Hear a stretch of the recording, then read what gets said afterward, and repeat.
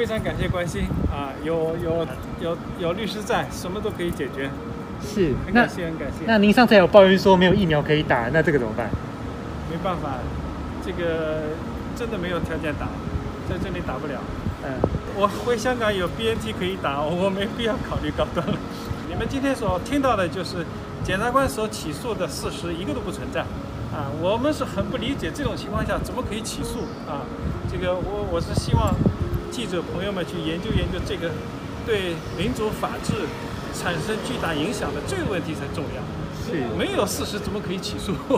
当你没有犯罪的时候，你让你在限制你的人权在这里等，你觉得你舒服吗？